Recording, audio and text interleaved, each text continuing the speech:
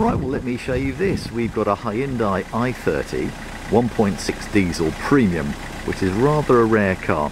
This is quite a windy day, so hopefully you'll be able to hear my commentary. Right, let's take you around the vehicle then. So starting off on the front, we have got uh, front parking sensors on the car, as well as front fog lights, as you can see there. The Premium had these uh, alloy wheels on it. You also had the colour-coded door mirrors with the integrated indicators. Coming around to the back, you've got the privacy glass, as you can see there. Uh, this colour is called Polar White, by the way. Coming around to the rear, we've then got uh, parking sensors and a reversing camera. Now let's just take you into the boot and show you that. So, decent sized boot, I think, as you can see.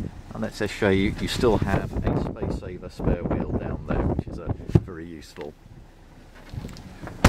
Right, let's move down this side and show you this side. And I think, as you can see, she's been uh, very nicely kept. So let's take you on to the inside now. So here we go. Um, as this is a premium, basically you've got half leather seats in this. Um, I've got the central armrest down there just to show you what that looks like.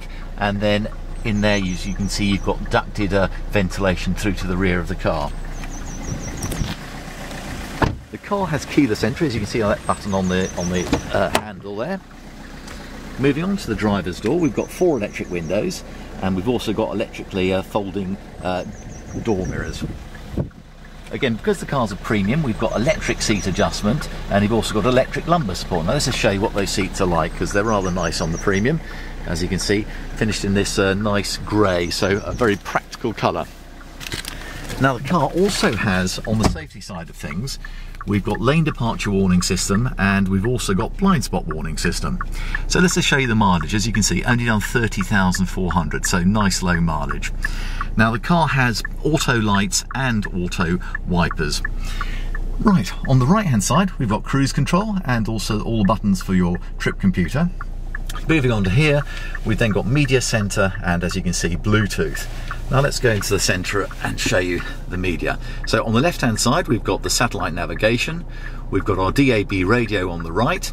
Um, and of course you can stream your music in there as well. Let's just show you the reversing camera on that. There we go. And uh, so making parking nice and easy.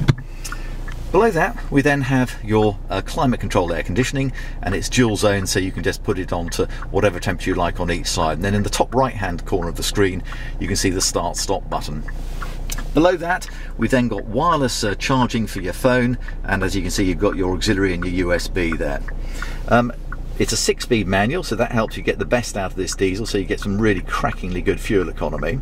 And the buttons around the steering, uh, around the gear stick, we've got heated front seats, which is rather nice. We can turn off the uh, start-stop on the engine, and you can turn off the parking sensors if you wish. It's a an electric handbrake just down there, which is really nice and useful. And then just a couple of other little things show you. I always like this. This is a very good thing for your uh, uh your sunglasses holder there. Now this car has got full Hyundai service history um, and it will go through our workshop just to make sure that it's all exactly as it should be. Um, you've got the remainder of the manufacturer's warranty on that so that goes through to 2022. Now, I hope that gives you a good idea on this vehicle. If there are any more questions, please give us a call. Um, if you'd like a personalised video, we'd be happy to do that for you as well. Thank you.